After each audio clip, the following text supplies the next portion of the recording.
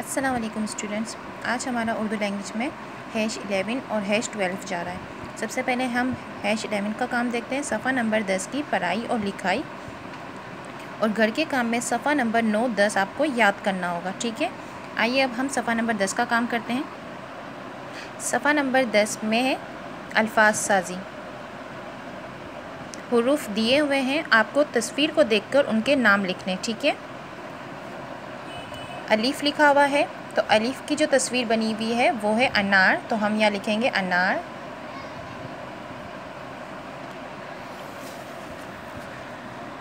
टे से टमाटर की तस्वीर बनी हुई है तो हम लिखेंगे टे से टमाटर।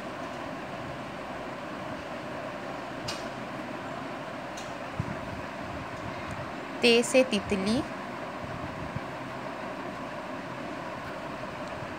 लाम से लीमू।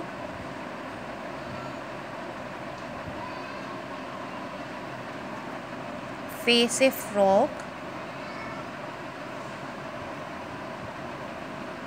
रे से रिक्शा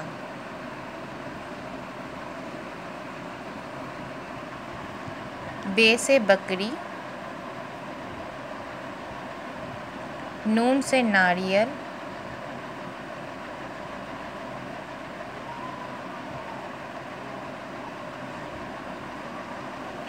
जीम से जहाज़ मीम से मकड़ी।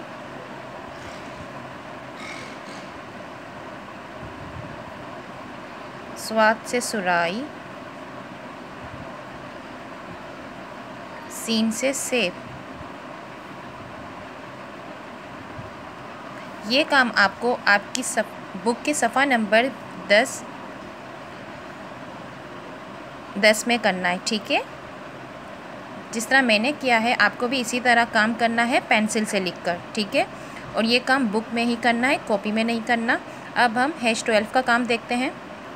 हैश ट्वेल्व में सफ़ा नंबर नौ दस जो आपने हैश एलेवन के घर के काम में याद किया होगा, सफ़ा नंबर नौ और दस, ये आपको आपकी ट्यूटर या फिर आपकी मदर को टेस्ट देना होगा, ठीक है? और जितना भी काम मैंने आपको करवाया है बुक में, यूनिट वन में, उस सब की आपको दोहराई करनी होगी, ठीक है? अपना ख्याल रखिएगा। अल्लाह हाफिज़।